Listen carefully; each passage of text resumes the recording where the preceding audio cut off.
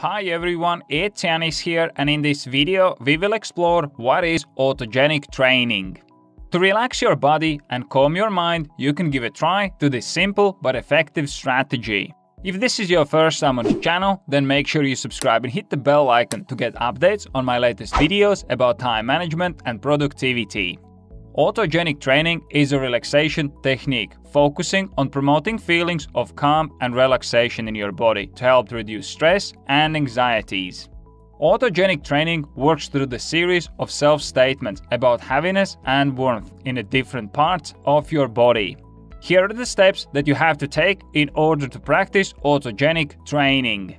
First, setup. Find a place where you can lie down or lean back in the chair. Remove glasses and loosen any tight clothes. Second, breathing. Start with taking a few deep breaths. Then tell yourself six times, I'm completely calm. Third, focus your attention on different body parts. You will focus on each body part to release tension and relax them.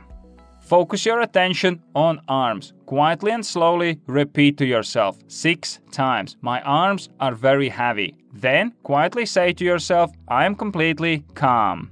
Refocus attention on your arms. Quietly and slowly repeat to yourself six times. My arms are very warm. Then quietly say to yourself, I'm completely calm. You then follow the same pattern while going through the rest of your body parts legs, abdomen, chest, and forehead.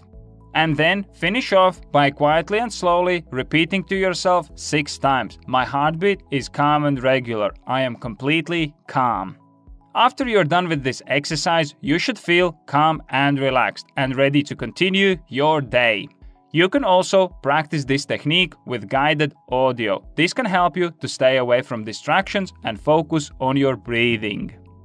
I hope that you enjoyed this video and I was able to give you a quick summary of what autogenic training is and how to practice it.